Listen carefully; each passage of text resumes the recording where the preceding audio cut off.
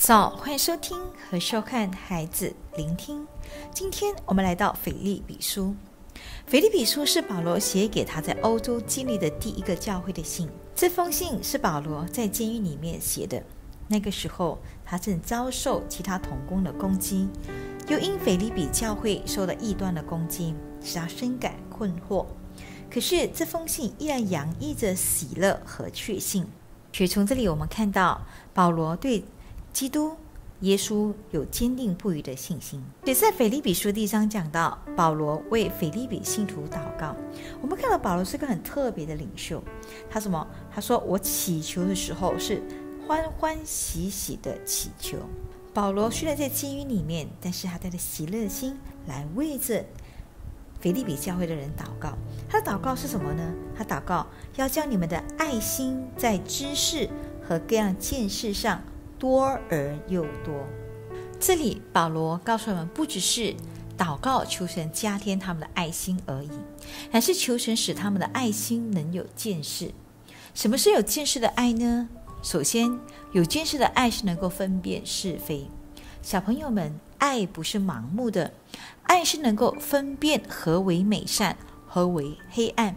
分辨是非是一种成熟的表现，好像小孩子成长时候。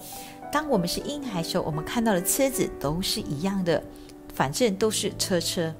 但是当你慢慢长大的时候，你就能开始一眼认出那些车子的名字和品牌，那是跑车。同样的，成熟的爱是能够分辨是非的爱。这里也告诉我们，有了见识的爱，也要我们结仁义的果子。什么是仁义的果子呢？除了生活的见证以外。圣经中提到，我们在主里面应当结出的果子有三种。第一是传福音的果子，就是能够领人归主。我们有没有带过人相信耶稣呢？你曾为这人祷告，看见福音的种子吗？若是没有，我们现在开始为我们身边的人的救恩来祷告。第二种就是嘴唇的果子。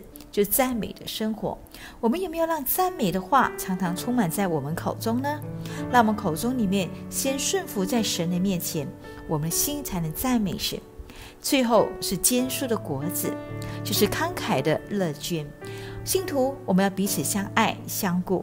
我们有没有看到别人需要，主动去补贴、去满足他们呢？这些就是耶稣要我们用主动的爱充满在我们中间。所以今天，让我们学习保罗一样，提醒我们，我们的爱心要有知识，并且靠着耶稣结满这些仁义的果子。愿神赐福听他话语的人。